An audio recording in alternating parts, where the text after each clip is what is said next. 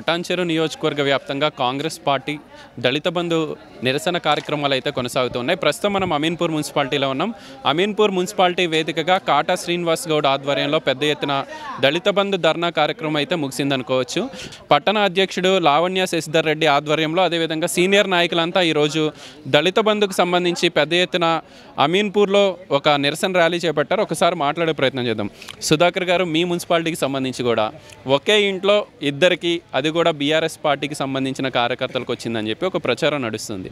ఎవరాళ్ళు నిజంగానే అలాంటి పరిస్థితులు ఉన్నాయా? వచ్చింది అమీన్పూర్లో కూడా ఆ లిస్ట్ చెక్ చేయడం జరిగింది. అమీన్పూర్లో ఉన్న దళితులను కూడా పిలిచి మరి మీరు ఇంతమంది అప్లై చేశారు. మరి ఇంతమందికి ఎవరికి రాలేదు. మరి వచ్చిన వాళ్ళకే ఆ వచ్చిన వాళ్ళు కూడా ఆర్థిక పరంగా వాళ్ళు చాలా ఉన్నతమైన వాళ్ళు మరి వాళ్ళు డబ్బు కలిగి ఉండి కూడా వాళ్ళకే ఒక ఇంట్లో ఇద్దరికి ఇవ్వడం ఏందని చెప్పి అక్కడ ఉన్న అమీన్పూర్లో దళితులు అందరూ కూడా చాలా ఆశ్చర్యం వ్యక్తం చేశారు. కాబట్టి ఆ అమీన్పూర్ విలేజ్ నుంచి చాలా ఎత్తున పెద్ద ఎత్తున మరి గరీబోనికి రావాలి ఇదేదో మరి వస్తే ఇస్తే అందరికి ఇవ్వాలి వాళ్ళకు డబ్బులు ఉన్నోనికే ఇచ్చి మరి డబ్బులు లేనోనికి ఇవ్వకపోవడం ఏందని చెప్పి అమీన్పూర్ మున్సిపాలిటీ నుంచి పెద్ద ఎత్తున దళితులు ఈ ఏదైతే దళిత బంధు అప్లై చేసిరో వారికి ఎవరికి రానందుకు వారు బాగా ఉక్రోషంతో ఆవేశంతో ఈ యొక్క కార్యక్రమానికి పెద్ద ఎత్తున రావడం జరిగింది. అమీన్పూర్ మున్సిపాలిటీ అంటే ఒక మినీ ఇండియా అనుకోవచ్చు. ఎక్కడెక్కడి నుంచో వచ్చి ఇక్కడ బతుకుతున్న వాళ్ళు ఉన్నారు. స్థానిక ఓటర్లో చాలామంది దళిత బిడ్డలు ఉన్నారు.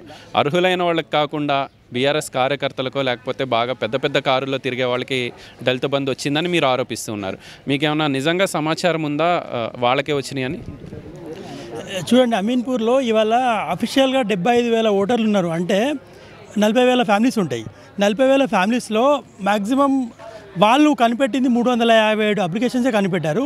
ఇది ఎంతవరకు సమంజసం అనేది ఎవరైనా చూడ చెప్పకనే చెప్తారు. మినీ ఇండియా మినీ ఇండియా అని మన ఎమ్మెల్యే గారు ప్రతిసారి ప్రతి మీటింగ్లో మినీ ఇండియా అని చెప్తారు. కానీ బయట నుంచి వచ్చిన వాళ్ళకి ఒక్కరిని కూడా గుర్తించలేరు. వాళ్ళ దాంట్లో దళితులు ఉండారా?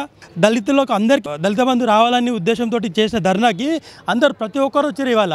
దళితులే కాకుండా దళితులకు సపోర్ట్ వేరే వాళ్ళు కూడా వచ్చారంటే అర్థం చేసుకోండి. టీఆర్ఎస్ ప్రభుత్వంలో ఎలాంటి పక్షపాతంగా జరుగుతుంది అనేది ప్రతి ఒక్కరు తెలుసు మూడు వందల యాభై ఏడు మంది అప్లికేషన్స్ వచ్చినా కానీ అఫీషియల్గా యాభై నాలుగు మందికి.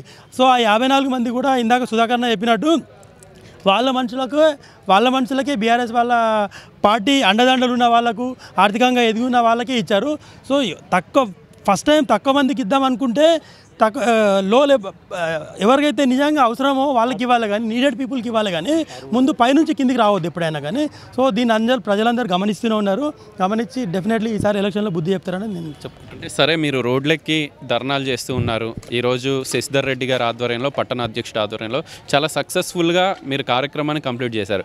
మీరు ఒక కౌన్సిలర్గా ఉన్నారు. కౌన్సిల్ మీటింగ్లో ఈ ప్రస్తావన లేవనెత్తాల్సిన బాధ్యత మీ మీద ఉంది. ఏంటి? దీని మీద ఏమైనా కౌన్సిల్లో ఏమైనా ప్రస్తావించే పరిస్థితులు ఉన్నాయా? ఉంది ఖచ్చితంగా. మరి ఈరోజు ఈ దళితులకు జరుగుతున్నట్టు అన్యాయంపై ఈరోజు సీనాన్ని ఒక పిలిపియడంతో ఇంతమంది ఈరోజు ఈ కార్యక్రమం ఇంత సభ ఇంత మంచి ఈ ధర్నాను మొత్తం కూడా సక్సెస్ చేసినందుకు వాళ్ళందరూ కూడా హృదయపూర్వక ధన్యవాదాలు తెలుపుకుంటూ మరి ఈరోజు వచ్చిన దళితులందరూ కూడా సీనన్న ఈరోజు దళితులకే కాకుండా ఈరోజు దళితులకు మోసం చేయడం ఎట్లా అంటే కేసీఆర్ మనకు దళితులను సీఎం చేస్తా అన్న అన్నప్పటి నుంచి తీసుకొని దళిత బంధు దాకా ప్రతి ఒక్కటి దళిత విషయంలో మూడు ఎకరాల దగ్గర నుంచి ప్రతి ఒక్క విషయంలో మోసం చేయడమే జరుగుతుంది.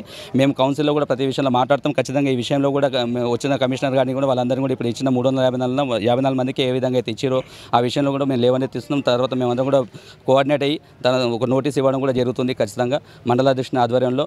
దీనిపైన ఖచ్చితంగా చర్య తీసుకుంటామని చెప్పేసి కూడా సీనన్న కూడా భారీ ఎత్తున దీన్ని ఇంకా రేపు రాబోయే రోజుల్లో కూడా దీన్ని అందరికీ అందరికి వచ్చేదాకా అందరికి ఇచ్చేదాకా కూడా సీనన్న వదిలిపెట్టలేదని చెప్పేసి సీనన్న గట్టిగా తీసుకొని ఈరోజు మొత్తం నియోజకవర్గ స్థాయిలో చేస్తున్నారు. మున్సిపల్లో కూడా మేము భారీ ఎత్తున చేయడానికి కూడా సిద్ధంగా ఉన్నాం.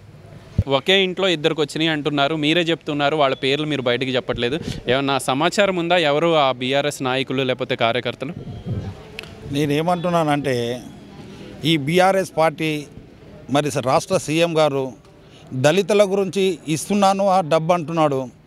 కానీ ఇక్కడ ఉన్న నాయకులు తప్పుదారు పట్టిస్తున్నారా? లేకపోతే అక్కడ సీఎమే ఇలా ఈ ఒక ఇంట్లో ఇద్దరికి ఇవ్వండి ముగ్గురికి ఇవ్వండి నలుగురికి ఇవ్వండి అని సీఎం చెప్తున్నాడో ఇది ఎవరికి తెలియని జరుగుతున్నది. కానీ నేనేమంటున్నానంటే అమీన్పూర్లో ఈ మున్సిపాలిటీ అమీన్పూర్లో ఒక గ్రామ పంచాయతీలో ఉన్న అటువంటి జరిగినప్పుడు కొండకల్ల సీను వీళ్ళు ఎవరు పేర్లు తెలిసినా చెప్పలేరు. కొండకల్ల సీను అనేది ఆయన పెద్ద కోటేశ్వరుడు. కావాలంటే మీరు కూడా తెలుసుకోండి. కొండకల్ల సీనుకు వచ్చింది వాళ్ళ భార్యకు కూడా వచ్చింది. కావాలంటే మీరు మళ్ళీ మీ ఆడ మున్సిపాలిటీలో కమిషనర్ గారు ఉంటుంది ఆమెను కూడా అడగచ్చు. అక్కడ ఒక చైర్మన్ ఉన్నారు ఒక అమీన్పూర్లో ఒక ఇరవై ఐదు మంది కౌన్సిలర్లు ఉన్నారు. వీళ్ళందరూ ఏం చేస్తున్నారు? ఎందుకు అడగట్లేదు? ఒకరి ఇంట్లో మరి కోటేశ్వరరావు ఇంట్లో ఎందుకు ఇస్తారు కొండకల్ల సీనుకు? వాళ్ళ భార్యకు కూడా ఇస్తారా? వాళ్ళిద్దరికి అయితే ముఖ్యంగా అయితే బీఆర్ఎస్ వాళ్ళు అయితే న్యాయంగా అయితే వాళ్ళు ఇద్దరికి తీసేయాలి. వాళ్ళిద్దరు కోటేశ్వరులు. భూములు ఎకరాల కొద్ది ఉన్నాయి. వాళ్ళు తిరిగేది మంచి మంచి కాలరాల్లో తిరుగుతారు. మరి ఎట్లా ఇస్తారు ఈ బీఆర్ఎస్ ప్రభుత్వం? అందుకే ఈ రోజు కాదు వారం రోజుల నుంచి అమీన్పూర్ కాటా శ్రీనివాస్ గౌడు ఈ దళిత బంధు గురించి అనేది కాదు దళితులకు అన్యాయం జరుగుతుంది. దళితులకు అన్యాయం జరిగేదాన్ని నేను దళితులకు సమానంగా ఇప్పిస్తా. దళితులకు సమానంగా ఇప్పిస్తా. ఇస్తే ఇవ్వండి లేదంటే మూసుకోండి అని. ఇప్పుడు మేము అన్ని గ్రామాల ఐదు మండలాల్లో ఇదే ప్రోగ్రాం పెట్టుకొని కాట శ్రీనివాస్ గౌడ్ ఇస్తే ఇవ్వండి లేకుంటే లేదనేది ఈ ప్రోగ్రాం పెట్టుకొని సక్సెస్గా తిరుగుతున్నాం మేము. ఈ పందన కూడా పబ్లిక్ కూడా ఇయ్యని వాళ్ళు కానీ పెద్ద ఎత్తున పాల్గొని మాకు కూడా రావాలన్నా ఉన్నోళ్ళకే ఎందుకు వస్తుంది? నువ్వన్నా న్యాయం చేపి అన్న అంటేనే శ్రీనివాస్ గౌడ్కి వచ్చి ఆయన ఇంటికి వచ్చి చెప్తుంటేనే అందరూ కూడా అడిగి ఈ మీటింగ్ పెట్టడం జరుగుతుంది. అంటే చివరిగా కాంగ్రెస్ ధర్నా వల్ల బీఆర్ఎస్ నాయకులకి కొత్త తలనొప్పి మొదలైంది. బయటికి చెప్పట్లేదు కానీ చాలామంది దళితులు వాళ్ళ ఇళ్ళకి వెళ్ళి కౌన్సిలర్లను అడుగుతున్న పరిస్థితులు అయితే కనపడుతున్నాయి కాంగ్రెస్ వాళ్ళు ధర్నా చేస్తున్నారు మాకెందుకు దళిత బంధు రాలేదని. కొత్త తలనొప్పులే తెచ్చిపెట్టారు బీఆర్ఎస్ నాయకులకి. దీన్ని ఇట్లానే కొనసాగించబోతూ ఉన్నారా? ఇది కంపల్సరీ కొనసాగిస్తాం. అందరికి ఉన్న దళితులకు ఎంతమందికి ఉందో అంతమందికి న్యాయం చేసేదాకా కాంగ్రెస్ పార్టీ పోరాడుతుంది. కాట శ్రీనివాస్ గౌడ్ పోరాడతాడు. ఇంట్లో మూడు వందల నలభై ఐదు మంది కుటుంబాలు అంటుండు. ఎక్కువ ఉన్నాయి కుటుంబాలు. ఎందుకు గుర్తించలేరు? అమీన్పూర్ మున్సిపాలిటీలో. డెబ్బై రెండు వేల జనాభా ఉంది ఇది దాన్ని గుర్తించలేరు. ఎందుకంటే దీన్ని ఈడ మూడు ఎకరాల భూమి ఇస్తాడు దళితులకు అది లేదు. ఈ దీనికి కొట్లాట పంచాయతీ పెట్టిండు. సీ మా కాటసీనన్న ప్రత్యేకంగా తీసుకొని అందరికి వచ్చేదాకా దీన్ని పోరాటం ఆపమని మేము అనుకుంటున్నాం. అంటే నియోజకవర్గం విషయం పక్కన పెడితే అమీన్పూర్ మున్సిపాలిటీలో కొంత స్తబ్ద స్తబ్దత నెలకొంది. కాంగ్రెస్ పార్టీలో జోష్ పెరగాల్సిన అవసరం ఉందని చెప్పి చాలామంది చెప్తున్నారు. కొత్తగా మీరు అధ్యక్షుడిగా బాధ్యతలు తీసుకున్నారు. అందరినీ కలుపుకొని వెళ్తూ ఉన్నారా లావణ్య శశిధర్ రెడ్డి గారు? హండ్రెడ్ పర్సెంట్ అందరికీ కలుసుకొని ఈ పదవి అనేది కాదు మా సీనన్న గెలుపు ముఖ్యము. పదవి లేదు నాకు ఒక బాధ్యత పెట్టింది కాదు అందరికీ అది కంపల్సరీ. ఆ గెలుపు కోసమే నేను ఒక కార్యకర్తలాగానే పదవితోని అది కాదు అందరికి కలుపుకొని చేసుకొని అమీన్ పూల్రా భారీ మెజార్టీ వస్తాడు డెబ్బై రెండు వేల దాకా ఉన్నది మెజా ఉన్నది ఓటర్లు. ఇంకెక్కువ మెజార్టీ తేవాలని మేము అనుకున్నాం. ఎయిటీ పర్సెంట్ అమీన్ పూలని వస్తుంది మాకు. మేము అందరం కలిసి పోరాడతామని మేము ప్రత్యేకంగా తెలుసుకున్నాం కాటసీనన్న ఈడికెళ్ళే మెజార్టీతో ఇస్తామని మేము నాయకులం అందరం కోరుతున్నాం. చివరిగా ఈ ప్రశ్న అడగక తప్పటం లేదు. సరే కాటా శ్రీనివాస్ గౌడ్ ఏ ప్రోగ్రాం తీసుకున్నా మీ నాయకులంతా పెద్ద ఎత్తున రోడ్ల మీదకి వచ్చి పోలీసు వాళ్ళ ఆంక్షల్ని ఛేదించుకొని కార్యక్రమాల్లో పాల్గొంటూ ఉన్నారు. ఈ వారం రోజులు బాగా గడిచింది. వారం రోజుల తర్వాత గ్రామాల్లో మీ మీ వీధుల్లో మీ మీ వార్డుల్లోకి వెళ్ళాల్సిన బాధ్యత మీ అందరి మీద ఉంది. కాటా శ్రీనివాస్ గౌడ్ వచ్చినా రాకపోయినా మీరు ఇంటింటికి వెళ్ళి జనాలకు వివరించే పరిస్థితులు ఉండబోతూ ఉన్నాయా? హండ్రెడ్ పర్సెంట్ హండ్రెడ్ పర్సెంట్ ఉంటాయి. ఎవరు వాళ్ళు ఇంతకుముందు కాన్సన్ట్రేట్ చేసిన వాళ్ళు నిలబడ్డోళ్ళు ఉన్నారు. వాళ్ళే తిరుగుతురు. ఎక్కడ వాళ్ళు అక్కడ గట్టిగా ఉన్నది.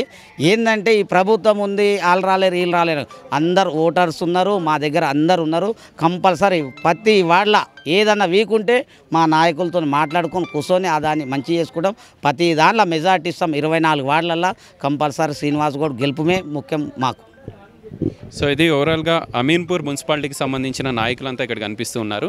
ఈరోజు దళిత బంధు కార్యక్రమాన్ని అయితే చాలా సక్సెస్ఫుల్గా వీళ్ళు కంప్లీట్ చేయడం జరిగింది. సరే పొద్దున వర్షం పడింది.